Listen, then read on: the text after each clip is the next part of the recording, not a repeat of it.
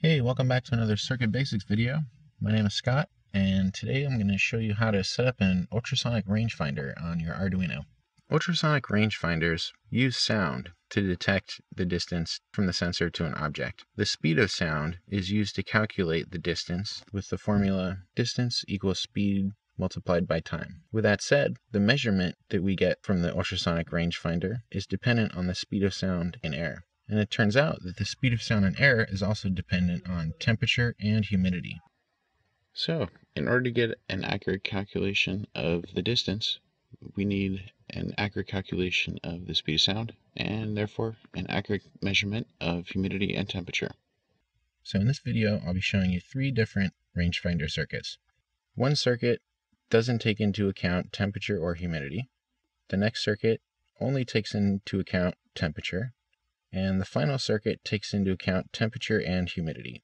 So that way we can get an idea of how much of an effect temperature and humidity have on our distance calculations. The ultrasonic rangefinder I'll be using in this tutorial is the HC-SR04. It's relatively inexpensive, under $10. The rangefinder has four pins, VCC, which is the 5 volt power pin, trigger pin, an echo pin, and a ground pin. I'm going to go more in detail on how the ultrasonic rangefinder works in an article that I wrote, which I'll link to in the description section, so be sure to check that out. But for now, I just want to demonstrate how the ultrasonic rangefinder works and the accuracy of each circuit. First, what we'll want to do is set up the ultrasonic rangefinder and connect it to the Arduino. I have an Arduino Uno here with a breadboard, and I'll begin by inserting the ultrasonic rangefinder into the breadboard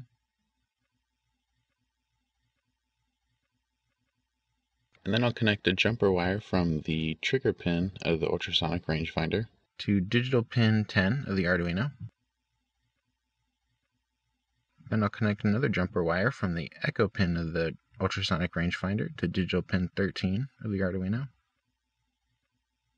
Then I'll connect the ground pin of the ultrasonic rangefinder to the negative rail of the breadboard. And the VCC pin of the ultrasonic rangefinder to the positive pin of the breadboard.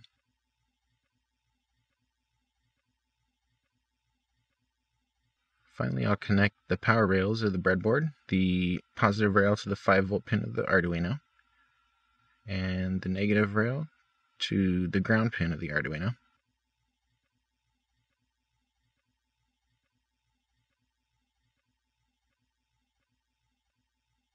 Okay, here's the article I was talking about. It's on our website.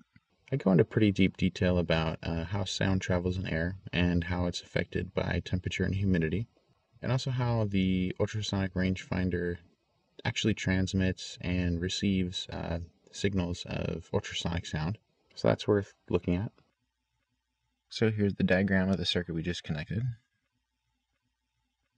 It doesn't take into account temperature or humidity. It's just the HC SR04.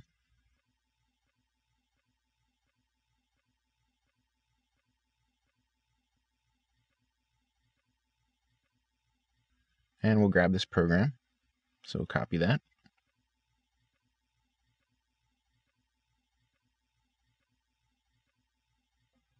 Open up the Arduino IDE. And paste it in there.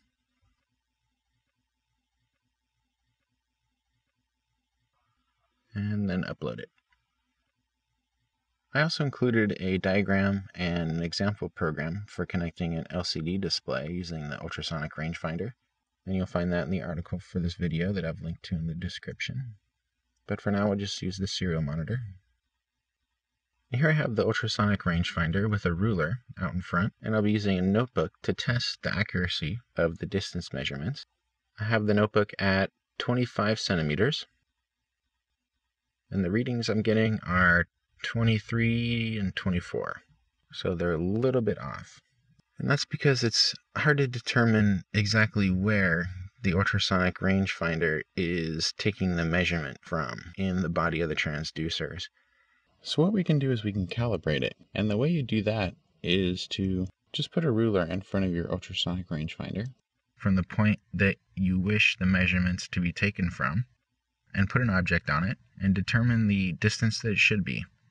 Then compare that distance to the distance values that are output by the rangefinder and determine the difference.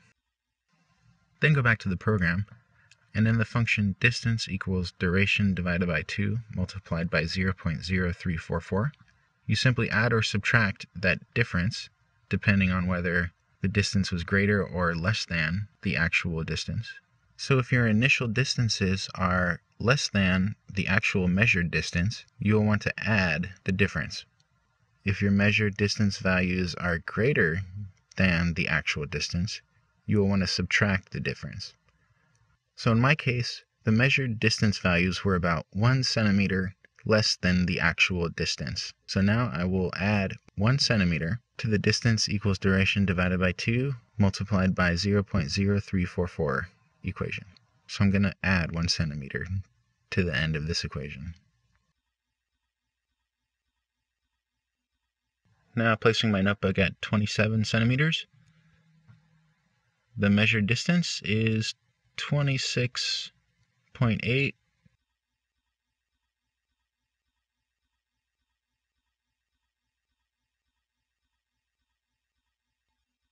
move it up to 23 we got 23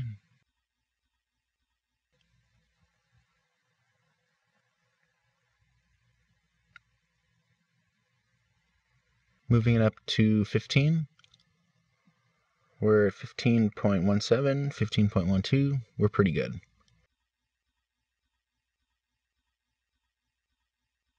All right, now let's try a slightly higher accuracy ultrasonic rangefinder circuit. In this circuit, we'll be using a thermistor to get temperature, and we'll be using the speed of sound in air formula to input the temperature reading from the thermistor to calculate a more accurate value for our speed of sound, which should result in a more accurate distance measurement. We've got a diagram on how to set this up. I have a 100K thermistor and a 100K resistor. And I'll insert the thermistor into the breadboard and insert the resistor into the breadboard. This is our voltage divider. Now I'm going to take the side of the thermistor that's not connected to the resistor and connect that to the positive rail of the breadboard. Then I'll take the side of the resistor that's not connected to the thermistor and connect that to the negative rail of the breadboard.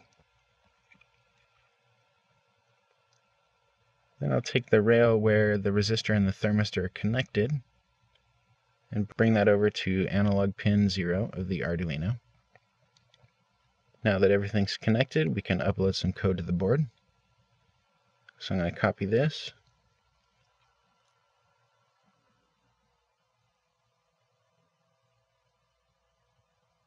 And this is all in the article that I'm linking to in the description. Open up the Arduino IDE.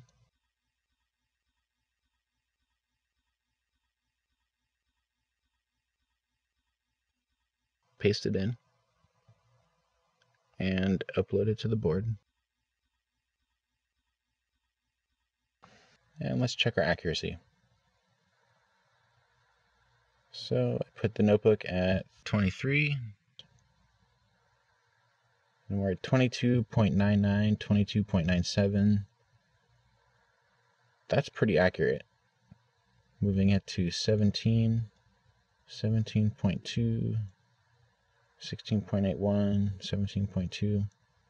It's not bad. All right, now that we've constructed our ultrasonic rangefinder circuit, taking into account temperature, now why don't we take into account humidity as well? For this circuit, we're going to be using the DHT11 humidity and temperature sensor. So if you want to learn more about the DHT11, how it works, and how to set it up, check out this other article, the DHT11 uh, humidity and temperature sensor.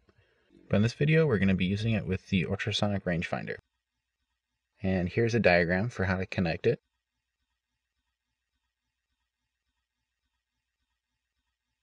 I'll insert the DHT 11 into the breadboard. Now I'm going to connect the negative pin of the DHT 11 to the negative rail of the breadboard. I'll connect the positive pin of the DHT 11 to the positive rail of the breadboard.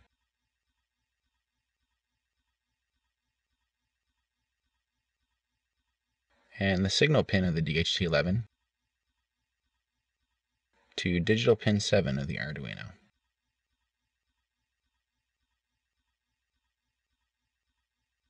Now in order to use the DHT11, you need to install a special library on your computer. It's the DHT-lib library. It contains all the functions needed to calculate humidity and temperature from the resistance readings uh, provided by the DHT11.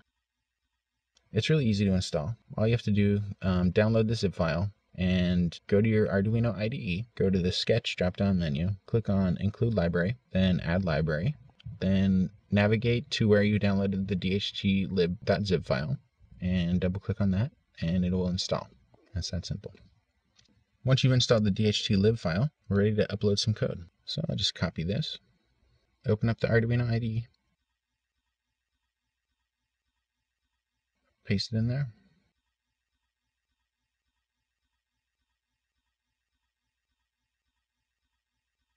And upload. So I'm just going to check the accuracy here. Got a ruler in front of the ultrasonic rangefinder and I'm going to place a notebook at 25 centimeters. And the reading I'm getting is 24.6, 24.7.